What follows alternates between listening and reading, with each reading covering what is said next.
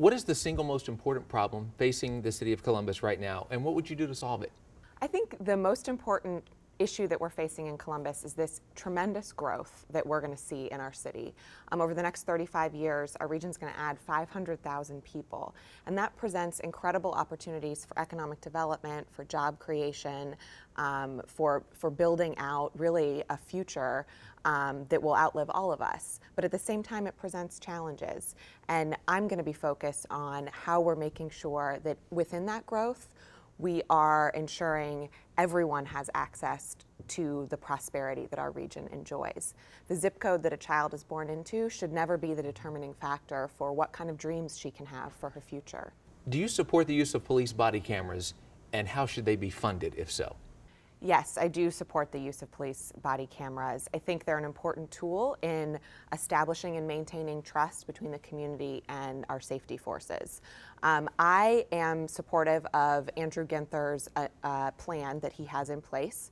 I think we need to look for a mix of state and federal funding to help us um, in in meeting that cost of about $5 million projected to get that program up and running.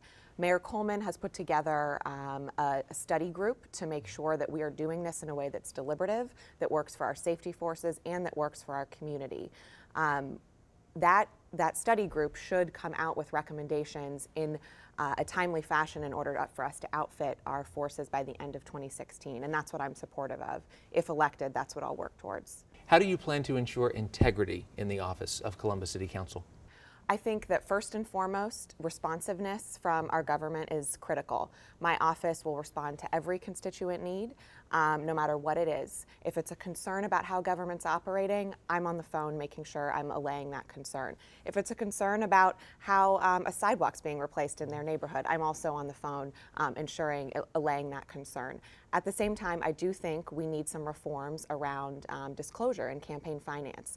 To me, the most important principle of, of good, solid campaign finance rules um, is full and transparent disclosure. I think in the age of super PACs, it's clear the corrosive effect that shadowy money has had on Washington. We need to make sure that doesn't happen in Columbus.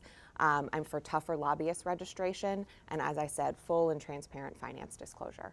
What would you do to encourage um, growth and development, and then what specific area of Columbus would you focus your attention? Our neighborhoods in Columbus are what make our city great. So I think we have to start with the neighborhoods and making sure that we are listening to the residents first. That's the first principle of development or redevelopment. Um, the second principle of, of, development and redevelopment is uh, making sure that whatever we're doing in any given neighborhood lifts up residents and doesn't gentrify. My background is in economic development, um, working on job creation and resident attraction. So I really hope to use that experience on council to look at neighborhoods like Linden, um, which is really struggling and really has some almost third world indicators of poverty. Their infant mortality rate um, is, just shouldn't be in, in a first world country. So we need to look at where we're struggling the most and make sure we're taking a comprehensive approach um, to alleviating poverty, to fighting for better middle class jobs. My name is Elizabeth Brown. I'm running for Columbus City Council because I believe this city has a tremendous future ahead of us. We are a vibrant and growing city. My background is in nonprofit service and economic development.